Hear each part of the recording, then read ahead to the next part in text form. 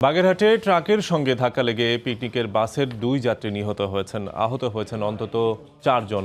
ভোরে বাগেরহাট খুলনা মহাসড়কে খানজাহান মাজার এলাকায় এই দুর্ঘটনা ঘটে। ফায়ার সার্ভিস জানায়, গত রাতে ঝিনাইদহের শৈলকুপা থেকে বাগেরহাটের খানজাহান রহমতুল্লাহর মাজার ও ষাট গম্বুজ মসজিদ দেখতে চল্লিশ জন দর্শনার্থী বাসে করে বাগেরহাটে যাচ্ছিলেন। ভোর পাঁচটার দিকে খানজাহান মাজার এলাকায় পৌঁছলে বাসের চালক নিয়ন্ত্রণ হারিয়ে দাঁড়িয়ে থাকা একটি ট্রাকের সঙ্গে সজোরে ধাক্কা দেয়। এতে ঘটনাস্থলেই এক বাস যাত্রী নিহত হন। খবর পেয়ে ফায়ার সার্ভিস কর্মীরা ঘটনাস্থলে পৌঁছে আহত পাঁচজনকে উদ্ধার করে খুলনা মেডিকেলে নিলে আরেকজনকে মৃত ঘোষণা করেন চিকিৎসক।